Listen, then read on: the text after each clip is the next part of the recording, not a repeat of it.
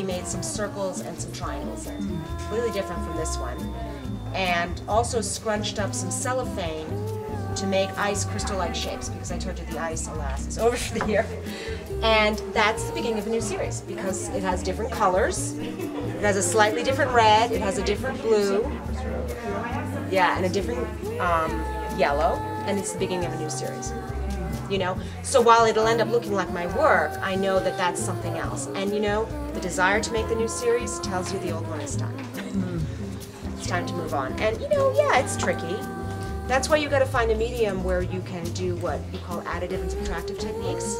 You can go into the painting and then erase and come out and then go back in without it being, oh no, I have to start all over again. What about the orientation? Do you, you decide, when do you decide which When one? do I decide? Yeah, Well, this one, go ahead and turn that one on its side because honestly, it doesn't work. I know I like it on its side. That one has really worked out both ways. I often don't decide the final orientation till later. There are three of those, and I may just make them one horizontal line like that.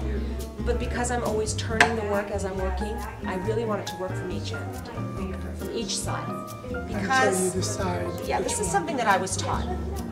I was taught that when you're looking at a painting, what you're looking at is what is how does the painting relate to the space? Where does it exit the space of the painting? And that's where I don't want that framing element we were talking about. Um, but also, uh, where do you want the weight of the painting? At some point, you have to decide. Okay. Um, a lot of people like it when they're looking at a painting like this and the heavy stuff. If you put the heavy stuff on top, it has a sense that it's floating up, right? If you put it on the bottom, can I just do what I'm doing? Okay. If you put it on the bottom, you're starting to get into a landscape already, right? A heavier bottom with um, a more open sky, okay? So until I decide what I want to do, I keep turning it. Yeah, excuse me for one second. sign Uh, at the very end, yes, I will sign it, but not till la- later. and sometimes on the back, I will put a little arrow. So, well, also to show that you can do whatever you want. Um, I will do something like this. This is something you can do for your people, your customers. You just make an arrow that goes like this and one that goes like that. And that way you're indicating that I don't mind. Yeah. But if you're wiring it, that's trickier, That's true. you know, because that's why. But also if you signed it, Right. you can't, Well, I don't necessarily sign it in a horizontal line. so, all right, so, yeah. On that painting over there that you were looking at, we were talking about the, that I'm freezing media um, and creating. Can you can you point to him where the ice crystals are? There's some on the sides there. Um, right here. I take them out at night, and under certain conditions, ice crystals form on the surface of the clayboard. They are absorbed by the clayboard and leave the paint on top. It's here too. Right in here. All of that sort of fern-like pattern. And um, we've also been talking about painting with paper because of the way that I use the paper. And I layer it to create um, colors. For example, a white over a red is going to make a pink, and there's the pink coming through. Um, in the landscapes, I might create a brown or a neutral color by layering it on purpose. So in that case, it was an orangey color on top of um, a darker green. And all of the paper is made from tree fiber. It's made from banana, mango, and mulberry tree fiber. Handmade acid-free paper from Japan and Thailand and Nepal.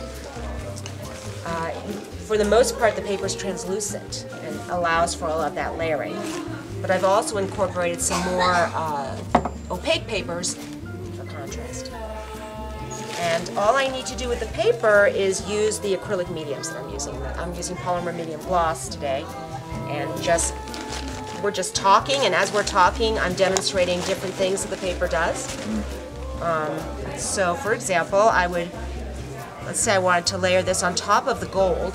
Now you can see already uh, some of the color coming through from before. You can't see it when it's wet, but I know. And I was saying that part of the fun with the paper is to go in and just pull it apart and rip it. I, I don't use any scissors at all. I'm trying to use the paper in the most sort of natural, organic way. And you also said when it dries, lighter or darker? I guess, and The, the translucent paper becomes more translucent because when it's wet, remember, we couldn't see, you know, as much through there. Where it clumps, the color remains more or less the same. Yeah, I mean, this color is not going to change that much. It looks darker now because it's wet. When it's dry, it's more the color that it is. It returns. And um, here I was talking about actually picking up the different shapes inside the fiber and using those shapes to continue a line. That's why I was talking about painting. That's another aspect to the painting with paper. If you were going to pick up some paint, let's say, and say, oh, I want to have some yellow line intersect here and do that, I'm just doing it with the paper. And within, see how the fibers are starting to show through? Later, it's never going to be totally white, but it'll be a lighter yellow than where it overlaps. How did you choose to put those pieces of paper there? Just Right now, I'm just doing it just, yeah. As uh, demonstration, Just as but- demonstration, but I am keeping in mind that um, there are certain parts of the painting that I want to be lighter than other parts. Mm-hmm. There are certain parts of the painting that I want to send back in space. So imagine that, um, and I, I would do that by adding um, lighter tones over darker ones. So here, for example, we have a very dense area, and if I bring in this paper, these white spots are actually going to show through the green later. It'll be a lighter green, and so then suddenly part of this is going to move away from you and part of it's going to move toward you. Before they were all kind of at the same level. See what I mean by that? And you know, maybe I don't like that shape, so that's where I might start to play with it a little more or layer on top of it. But the kind of very pale green that's going to make underneath it's going to be really beautiful. I was saying a little earlier that I've brought paper as if I've brought paint. So I've brought a, some blue paper, I've brought some yellow paper, I've brought some reddish paper, and I use those just to create whatever colors and neutrals that I need for the painting. These are at the beginning, that's why I purposely brought them unfinished. These are more completed works, and you can see I do landscapes and abstracts. how long does it take? Like for this, how long did it take? A painting like that takes quite a bit of time because there's probably 12 or 15 layers in there, beginning with the paint and going all the way through the top. So it's hard to say. Months? 40 hours? No, not months. I'm speedy. but um, no, uh, but quite a bit of time. I mean, this is not something that you can pull off in a couple hours. You have to revisit it and revisit it. Um, certain parts of it don't take very much time at all. Staining takes no time. To pour the water under the right conditions and get the crystals is almost instantaneous, but the conversation I have with the painting later can last many, many hours.